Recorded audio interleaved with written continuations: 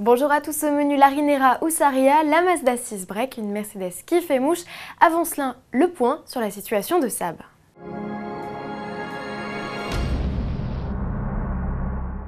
En juin dernier, l'avenir de Saab semblait enfin serein. Après plusieurs mois de tractation, un consortium suédo-chino-japonais annonçait le rachat de l'intégralité des actifs du constructeur suédois. La clôture d'achat, initialement prévue le 31 juillet, serait retardée d'un mois ou plus selon le blog sabunited.com. La procédure serait toutefois finalisée cet été. Ils ont jusqu'au 21 septembre à suivre donc.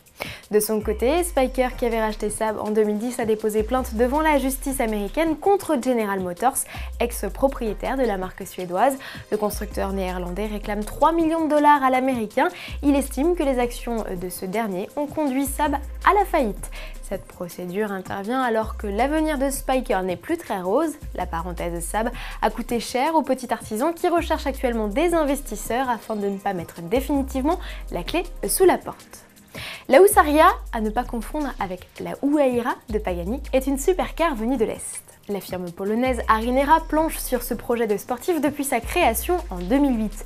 En 4 ans, les lignes du modèle ont évolué tout comme son nom. Née Venokara, elle est devenue Arinera avant de prendre le patronyme de Hussar en polonais. La Husaria adopte une carrosserie taillée au gré du vent dans le carbone, des lignes inspirées par ses concurrentes McLaren MP4 Doucet ou encore Lamborghini Aventador. Côté motorisation, Arinera fait appel à Corvette, c'est le V8 de 647 chevaux de la ZR1 qui prend place à l'arrière. Le tableau des performances prévoit un 0 à 100 km/h en 3 secondes 2 et une vitesse de pointe de 340 km/h, à confirmer à son arrivée en concession, promise en 2013. Seuls 33 exemplaires verront le jour, le ticket d'entrée hors taxe avoisinerait les 125 000 euros. Un saut au Japon à présent où Mazda a inauguré les chaînes de production de sa numéro 6. Contre toute attente, ce premier modèle assemblé à Ofu n'est pas une berline, mais un break. C'est la première fois que l'on découvre la version Fastwagen du modèle.